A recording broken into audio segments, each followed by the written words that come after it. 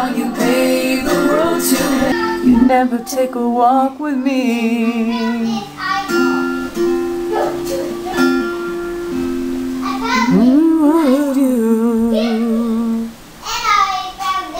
This hawk has been sitting here. It actually showed up the other day.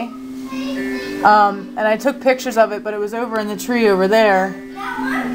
And I'm just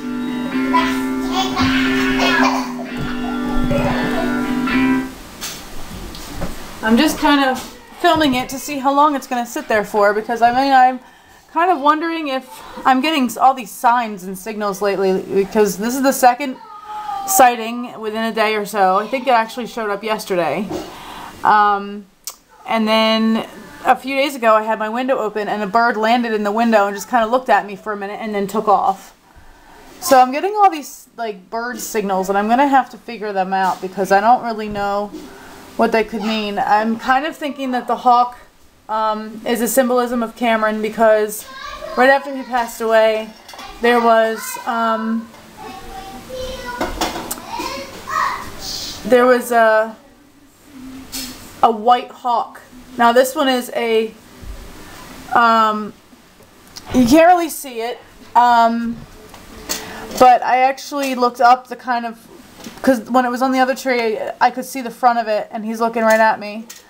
Um, and it looked like uh, I I forget. I actually I wrote it down or whatever, but I can't. It, it's a hawk that begins with an F. Um, and but this particular hawk, right after Cameron passed away, he was all white.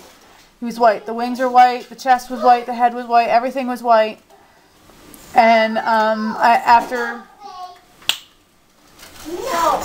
um, after he passed away, um, this particular hawk was uh, kind of just sitting in my in-laws' uh, yard, and the second he, you know, I came along and like saw it, we locked eyes, and then he flew off, and I haven't seen him since.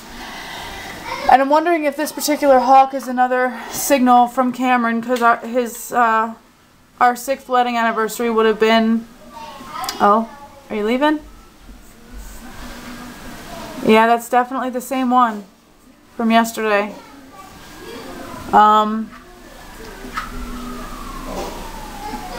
I'm just wondering if it's because our sixth wedding anniversary would have been on the 4th, and the anniversary of his death is the 14th. So I'm just wondering if this might be a signal from him. I don't know. Oh, bye, buddy. Where'd you go? My voice sounds like you're ready to cry. No, I'm not.